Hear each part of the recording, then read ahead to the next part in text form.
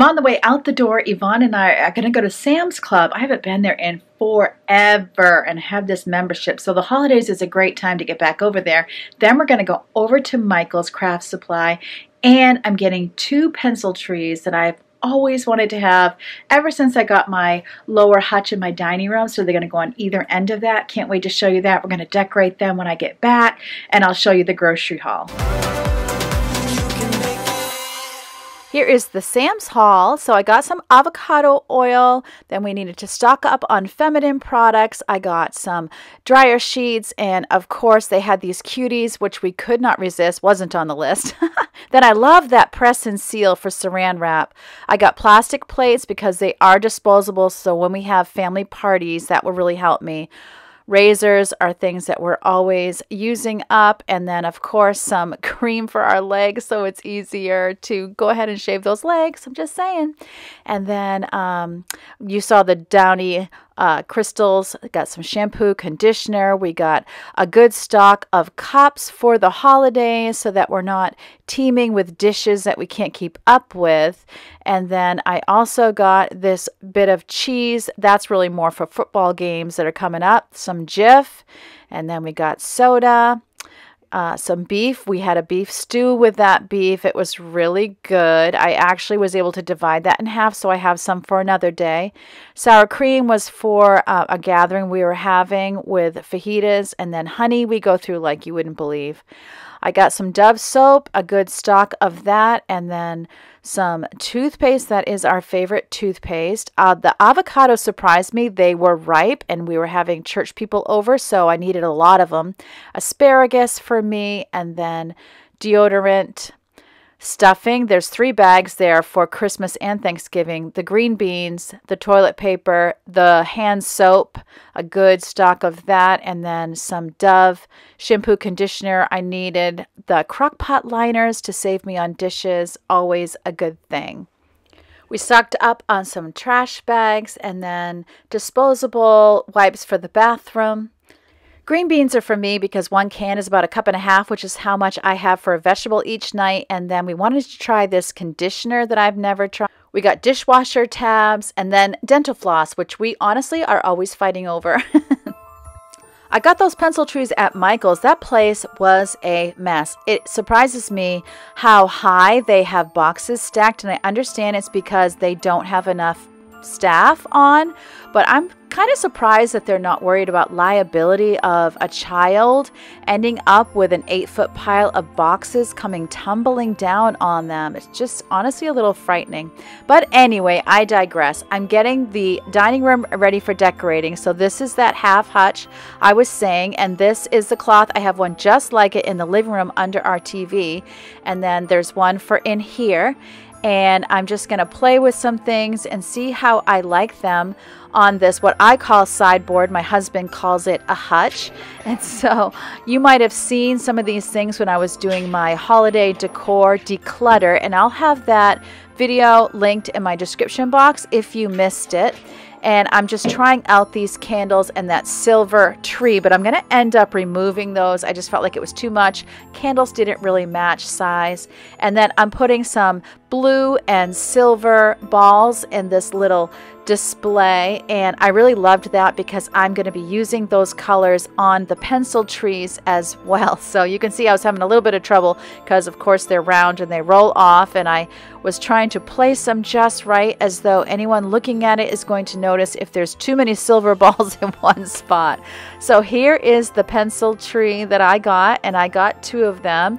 It was called Cashmere and I liked it because it looked more real. It was about $80 I think on sale.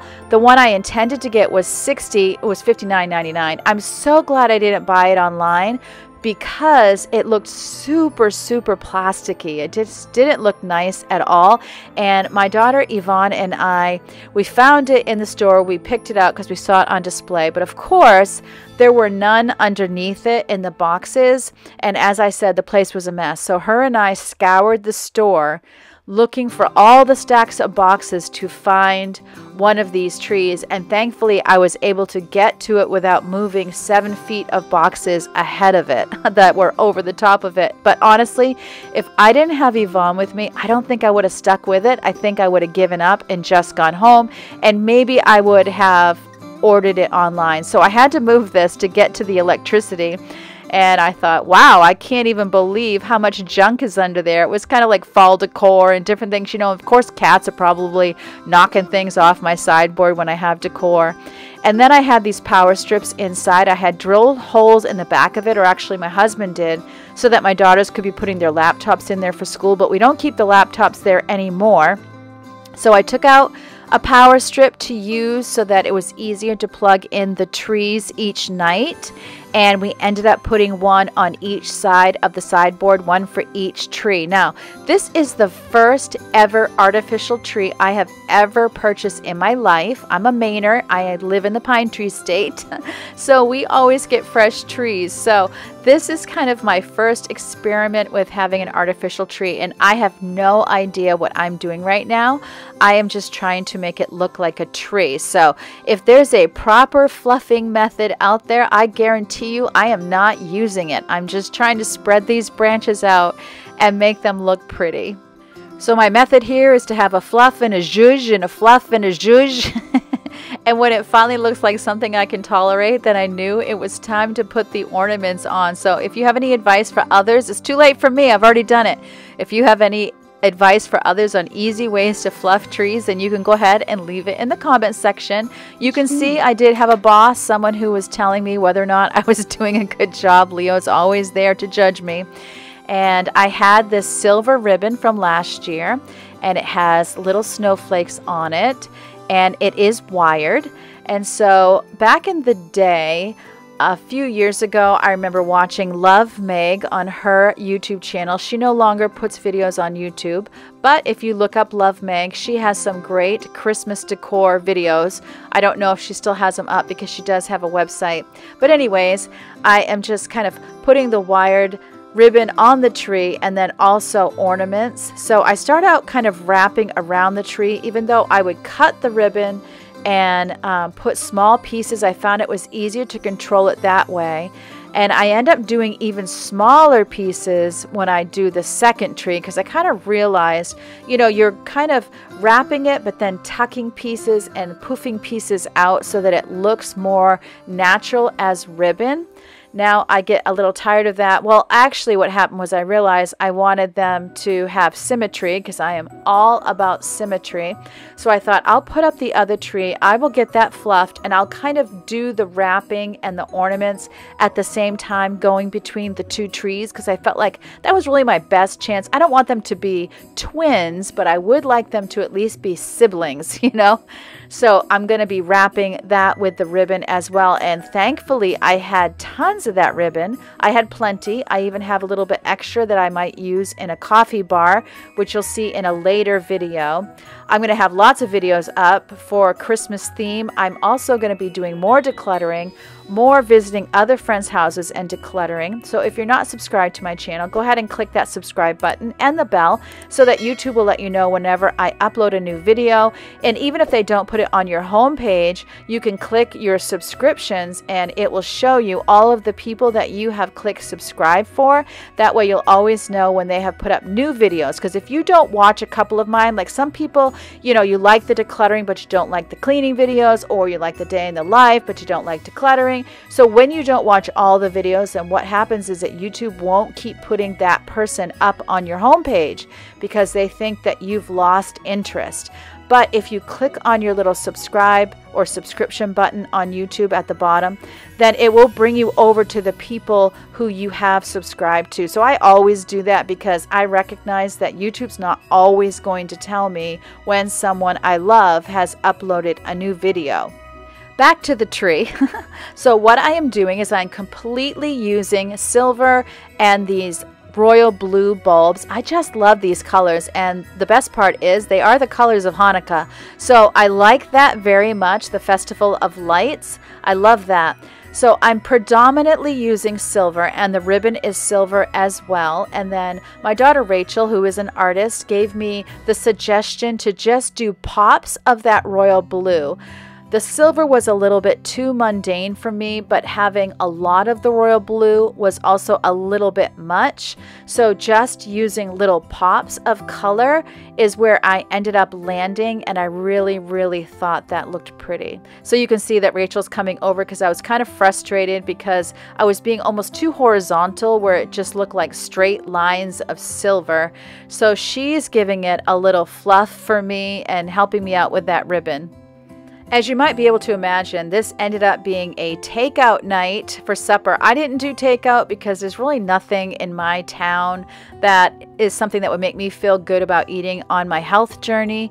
I definitely wasn't going to be eating takeout pizza. So I ended up making something for myself. And you know what? I take that back. My husband, Robin, ended up making something for me to help me out. I did not tell him I was going to do this. He was working. I had an opportunity to get to Michael's and I just took the opportunity. I come home and of course he gets done working. I am deep in this tree and there is no way I am stopping. So we had to kind of figure out what was everybody going to eat because mama wasn't cooking. I didn't have a good meal plan plan. My meal plan had kind of fallen apart. Isn't it funny that the days you go grocery shopping or bring in a lot of food ends up being the day you have absolutely no meal plan? Let me know if that's you. In fact, as I move back over to the other tree, you can see out my window that it is dark outside. Of course, it is getting dark at like 5 o'clock at night now. We are heading into deep winter. By the time it's the shortest day of the year, it'll be that dark at 4.30. So it is dark out, but that's because it's supper time. And um, honestly, isn't it the case that once you get in the zone, you just do not want to stop. And I do not want to stop until this is done. But honestly, I was also so very excited about this and how it was going to look because it's been something I've been thinking about doing for a couple of years, but I've never actually done it. Once you get to Christmas time, all you're thinking about is being able to afford the presents for the ones you love. And you're a little bit worried about money and you're going to be doing extra foods, extra specialty foods there's just so many expenses at the end of the year that it can be a little bit hard to do these little splurges on decor. But I am just so glad I did because I absolutely love the outcome.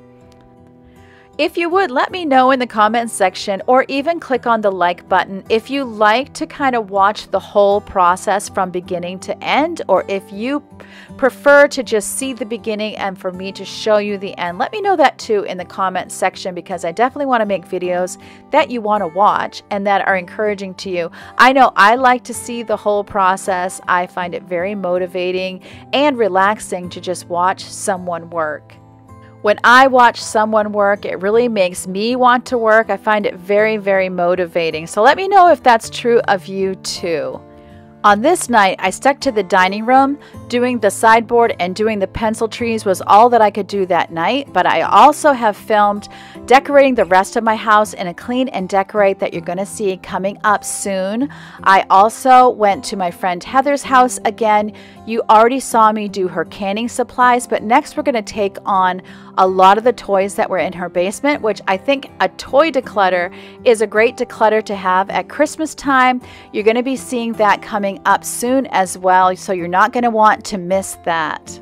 Also, if you could let me know if you're interested to see stocking ideas and gift ideas for teenagers and young adults. If that is something that you would find helpful, I could even include young children in there since I do have grandchildren. But you let me know if you are looking for gift ideas and what age category and gender you would you would find helpful and I could make a video about that too. I'm also shopping today for stocking stuffers for them and I told the kids I'm like I need your list if there's anything on your wish list because I would love to have my Christmas shopping predominantly done within the next week. So you let me know what would be helpful to you, and I would be happy to make that. Having already said that I didn't do any other decorating, actually, that's not technically true. Santa's elves were outside doing some decor, and so I'm going to show you what went on out there. Ava actually decided she was putting up the lights this year, so up the ladder she went, and she did a fabulous job. There it is across the front of the house. And here is how the dining room turned out with those trees, and I absolutely love it. I had a hard time getting a good angle for you to actually see it because the room is small, but I could not be happier. And then I was so motivated by Ava getting my lights up that I went and got my Christmas wreath and I took down the fall one and put up the Christmas one. This is one I probably got this at Home Goods or TJ Maxx. They always have great ones that are like $20, $25. And so oftentimes I will get one there. It didn't work between the doors. There just wasn't enough room. So there it is on the outside of the house. And it just looks so festive and pretty.